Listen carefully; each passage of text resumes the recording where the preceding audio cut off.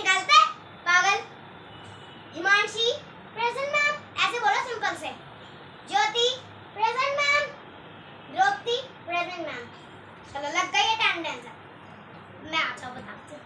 और मैथमेटिक्स के एग्ज़ाम में किसी का भी गलत नंबर है तो देखना क्या देखना अब करो मैं करवाऊँगी फ्रैक्शंस का लेसन किसका कराऊँगी फ्रैक्शंस का और बोलने किसी को नहीं आता था इससे है अभी भी नहीं बोल सकते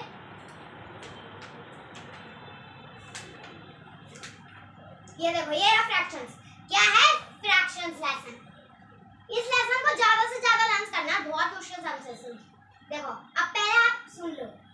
We of them hear the word half one fourth one third three fourth it is for example अब एग्जांपल बता रही हूँ, ढंग से सुनना। My mother give me half cup of milk मतलब कि मेरी मम्मी ने मुझे हाफ़ कप ऑफ़ मिल्क दिया।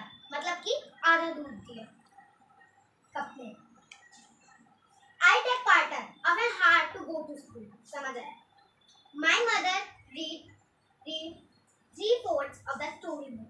My sister would drink only two thirds of a glass. Half quarter, three fourths, and two thirds are parts of a wall. We can divide a wall into equal or unequal parts. देखो अभी दिख रहा है आपको a wall four unequal parts three equal parts when a wall is divided into two equal parts each part is called half of the wall देखिए half half दिख रहा है आपको इसमें two options दिए इसमें ये बना हुआ rectangle और इसमें one क्या है वन स्टैंडिंग लाइन है।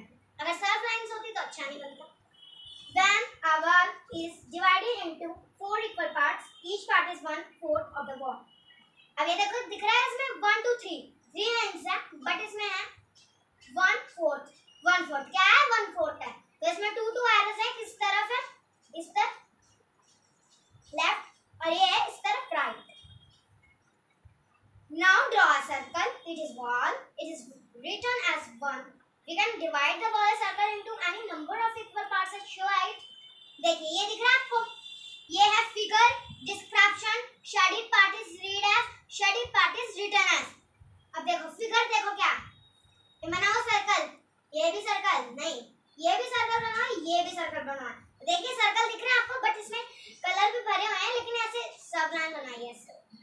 ऐसे करके बनाई पता चल गया the wall is divided into the wall is divided into the wall is divided into the wall is divided into सब में आए ये और shaded part is read as one half or one over two